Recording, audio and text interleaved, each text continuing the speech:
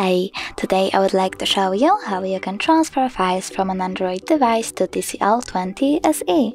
Start by opening Play Store on both devices.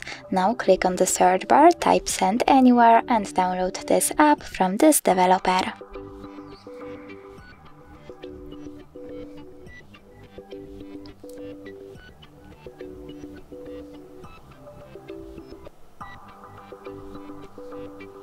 Then open it Click I accept, just confirm, continue and allow. Now we have to wait for this one to download.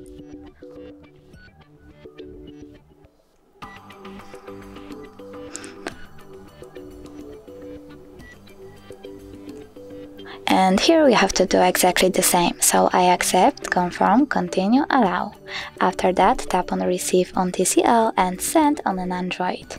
Then click on all of those dots and choose send to send all of your files.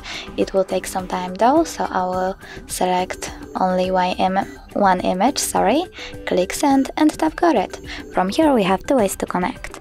You can input this password over here and choose receive or scan QR code by clicking on the scanning icon over here, choosing while using the app or only this time and pointing device's camera at the code.